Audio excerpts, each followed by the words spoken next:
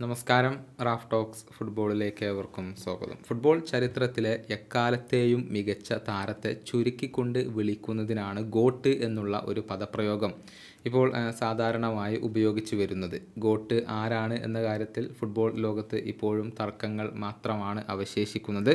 Super താരം Lionel മെസ്സിയെ ഗോട്ടായിക്കൊണ്ട് പരിഗണിക്കുന്നവർ നിരവധിയാണ്. പ്രത്യേകിച്ച് രണ്ടായിരത്തി ഇരുപത്തിരണ്ടിലെ വേൾഡ് കപ്പ് നേടിയതിനു ശേഷം മെസ്സിയെ ഈ ഒരു സ്ഥാനത്ത് കാണുന്നവർ ഒരുപാടുണ്ട്.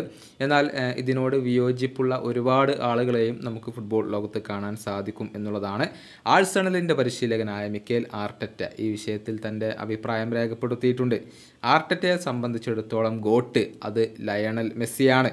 താനും തന്റെ മൂന്ന് മക്കളും ഗോട്ടായിക്കൊണ്ട് പരിഗണിക്കുന്നത് ലയണൽ മെസ്സിയെയാണ് എന്നുള്ള കാര്യം ഇപ്പോൾ ഈ ഒരു പരിശീലകൻ തന്നെ പറഞ്ഞിട്ടുണ്ട്. അദ്ദേഹത്തിന്റെ വാക്കുകളെ E S P N report ചെയ്തിരിക്കുന്നത് ഇങ്ങനെയാണ്. ഗോട്ട് എപ്പോഴും മെസ്സി തന്നെയാണ്. എനിക്കൊരിക്കലും അത് നിരാകരിക്കാനാവില്ല. എന്റെ മൂന്ന് മക്കൾക്കും ഈ ഒരു അഭിപ്രായം തന്നെയാണ് ഉള്ളത്. മെസ്സിയെ ഇത്രയും കാലം എക്സ്പീരിയൻസ് ചെയ്യാൻ കഴിഞ്ഞു എന്നുള്ളത് തന്നെ വലിയ ഒരു ഭാഗ്യമാണ്. എന്നെ സംബന്ധിച്ചിടത്തോളം ഫുട്ബോൾ ചരിത്രത്തിൽ എക്കാലത്തെയും മികച്ച താരം മെസ്സി തന്നെയാണ്. ഇതാണ് ആർഡറ്റ് ഇപ്പോൾ പറഞ്ഞിട്ടുള്ളത്.